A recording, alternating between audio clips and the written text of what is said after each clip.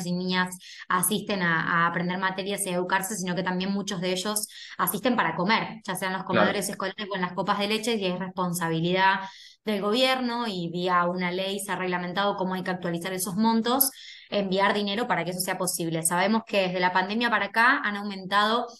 considerablemente la cantidad de chicos y chicas que están comiendo en las escuelas y muchos de ellos son la única posibilidad que tienen de comer un plato de comida al día muchas veces es en estas instituciones y también sabemos por la propia comunidad educativa y por gremios que han hecho insistentes reclamos y publicaciones de información que el gobierno no estaría cumpliendo en tiempo y forma en general ya desde hace varios años con el monto que se debe enviar. Hoy tenemos constancia por, por lo que nos cuentan y por lo que conocemos en el territorio recorriendo las escuelas que solo estarían destinando 125 pesos para un plato de comida y la verdad que, bueno, cuesta imaginar en una Argentina donde, según los datos de UNICEF de febrero, tenemos dos de cada tres niños en la pobreza, tenemos un contexto inflacionario bastante excepcional que coloca a todo el mundo en una situación complicada. Cuesta pensar que alguien puede comer con 125 pesos al día, por eso estamos pidiendo explicaciones e información y también solicitando al gobierno que revea las partidas para, para poder darle la mejor atención a nuestros niños, no solo en términos educativos, sino también en términos de asistencia alimentaria.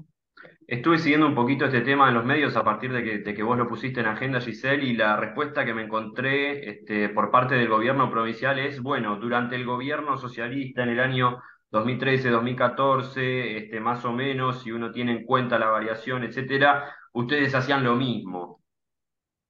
Bueno, en primer lugar decir que no, que bajo ninguna circunstancia hacemos lo mismo porque siempre ajustamos esos índices por encima del índice de precios al consumidor, incluso en el último año de la gestión de Miguel Lipschitz lo superamos ampliamente con esos montos, lo que además creo que, bueno, además está decir que lo que sucedía hace una década atrás en términos del contexto económico, político y social en la provincia es muy distinto de lo que está pasando hoy. Yo te mencionaba las cifras de UNICEF, del informe que se dio a conocer en Argentina, porque estamos en una situación realmente crítica y excepcional. Desde que llegó la pandemia, vos sabés muy bien que muchísimos argentinos no tienen un plato de comida en su mesa y están atravesando una situación crítica mucho peor que la que se ha atravesado en otros contextos. Y también sabemos que lo que es distinto a lo que sucedía antes en la provincia de Santa Fe son los recursos con los que cuenta este gobierno. Es un gobierno que propia, propios funcionarios han declarado que han tenido superávit de 32 mil millones de pesos en el año 2022, es decir, en una provincia donde hay hambre, donde hay crisis, donde hay desempleo y donde hay necesidades, el gobierno le sobra la plata. Esto para nosotros habla de, claramente de una lejanía con el territorio y con los problemas de la gente, porque donde hay una realidad, donde la gente pasa hambre y pasa necesidades, pero a los gobiernos les sobra el dinero, evidentemente estamos haciendo algo mal. Y esa es la situación que atraviesa hoy la provincia de Santa Fe, no solo en una crisis de Argentina totalmente excepcional, crítica y aguda post pandemia y, en esta circunstancia y en este año, sino que además con un gobierno que tiene recursos extraordinarios respecto de cualquier otra gestión que haya pasado previamente por el gobierno, no solo por los presupuestos que hemos aprobado y por las posibilidades de disponer de ellos con facultades extraordinarias, porque este gobierno, la legislatura le ha otorgado recursos extraordinarios y facultades extraordinarias que nunca han tenido otros gobiernos anteriormente, sino que además Sabemos que ellos mismos están blanqueando un superávit de 32 mil millones de pesos en las arcas del Estado en el 2022 y también sabemos que tienen más de 127 mil millones de pesos guardados en cuentas bancarias en plazos fijos, acumulando intereses y acumulando capital sin ser destinados a mejorar, por ejemplo, los salarios de los docentes que tuvieron que hacer seis semanas de paro porque no podían bajo ninguna circunstancia con el monto salarial que el gobierno ofrecía, ganarle a la inflación, un gobierno que además eliminó la cláusula gatillo, que era la única posibilidad que contaban los trabajadores de la educación de que se actualice permanentemente su salario a la situación inflacionaria. Así que bueno, sobran, las, sobran los argumentos, los números, hasta incluso la propia información oficial para dar cuenta de que bajo ninguna circunstancia este gobierno gestiona la política educativa de la misma manera que lo hizo el Frente Progresista. ¿Cuál es el camino legal formal para actualizar este monto irrisorio? Vos lo mencionás, Giselle, de 125 pesos por, por persona, por chiquito, este, para los comedores escolares. Bueno, nosotros tenemos una ley vigente en la provincia que establece una actualización trimestral. Nosotros eh, tenemos proyectos de ley en la Cámara de Diputados actualmente que siguen estando en discusión para ver si esa ley también se vuelve a modificar. Es una de las herramientas que tenemos, pero acá lo que nosotros estamos apelando es fundamentalmente a la sensibilidad y a la responsabilidad política de, este gobierno, que es quien debe conducir los destinos de la provincia, que es quien debe asegurar una educación y una, una gestión educativa de calidad que hoy no vemos, no solo por la situación de ejecución presupuestaria que ha sido una constante para este gobierno, por los paros docentes que ha sido una constante con este gobierno, sino también por la baja inversión en infraestructura a la que estamos acostumbrados a ver cada vez que visitamos una escuela y por la nula capacidad de este gobierno de tomar decisiones. Ahora en estas semanas se estuvo hablando mucho de lo que implica esta ola de calor en términos de la posibilidad de garantizar la educación de calidad dentro de las aulas. Y el gobernador ha tenido nada más y nada menos que la decisión de no tomar ninguna decisión y de trasladarle totalmente la responsabilidad a los directivos, como también todos los días le trasladan la responsabilidad a, los economatos de las escuelas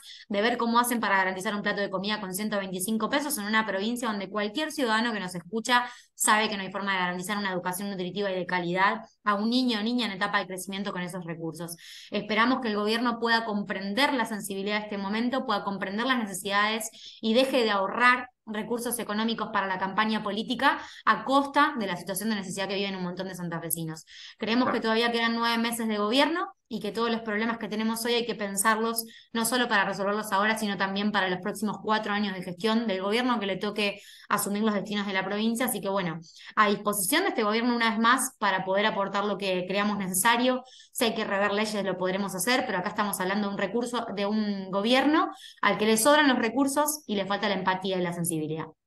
Eh, Giselle, ya que estamos en tema de educación, te pregunto personalmente, si querés, eh, tu opinión sobre mm, este nuevo sistema de no repitencia que se está aplicando voluntariamente en varias escuelas secundarias. Bueno, nosotros lo hemos dicho en su momento cuando estas decisiones salieron mediante una circular comunicada de la noche a la mañana a toda la comunidad educativa. Nos hemos cansado de decirlo durante tres años y medio, incluso presentando proyectos al respecto. Creemos que la política educativa de Santa Fe, que siempre fue un ejemplo para la provincia en la Argentina, debería eh, realmente empezar a, trabajarse con un plan concreto. Sabemos que han pasado tres años y pico de este gobierno sin un plan educativo, sin un diálogo con la comunidad, sin un diálogo con los directivos y los docentes. Lo mencionaba con el ejemplo de la hora de calor. El gobierno no toma decisiones y le dice a los directivos que hagan lo que pueden. La verdad que acá no estamos hablando solamente de hacer lo que los chicos puedan soportar, sino que también estamos hablando de las condiciones de trabajo en las que transitan los docentes, los directivos, los trabajadores de la educación, su cotidianidad Así que creemos que, que esta medida con la ola de calor, esa medida que se tomó sobre la repitencia, una vez más da cuenta de un gobierno que tiene una gestión alejada de la gente, que no trabaja en conjunto con la comunidad educativa, que no reconoce las necesidades ni legitima a los actores que están todos los días